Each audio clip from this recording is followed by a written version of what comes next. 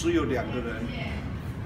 各位也可以从过去看到的，也竞争很激烈，没有所谓内耗不内耗的问题。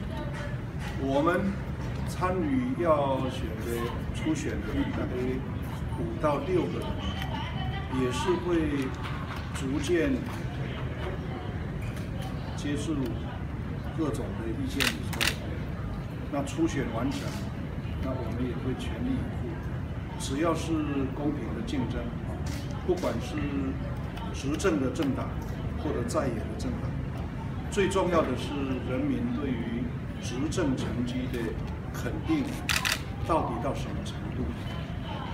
我在想，任何一个执政的党，一定是第一要能够有效率，而且真正忠于国家、忠于人民的这种第一。是要好好的把国家治理好。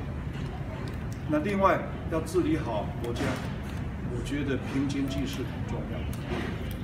繁荣均富的经济，才能让民众过比较好的生活。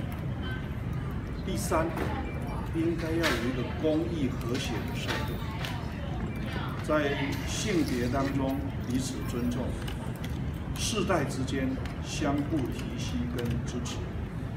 然后不同的行业彼此尊重，也有非常重要的，就是这个社会的治安一定要良好，所以和谐公益的社会也非常重要。那第四个，当然对我们国家来讲也是相对的非常重要，那就是和平稳定发展的两岸关系，也是我们中国国民党执政期间以上这四样。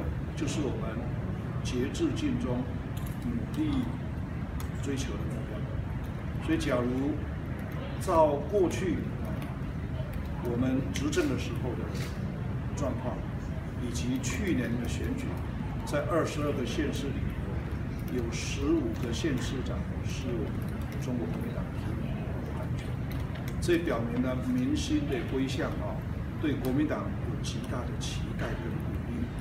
所以我们要把过去做的比较不错的，要好好的做得更好。那如果做的不够理想的，我们一定要全力提升，希望能够争取更多的国民的支持，我们国人支持，我们中国国民党才能够有机会。所以这一点，谢谢大家。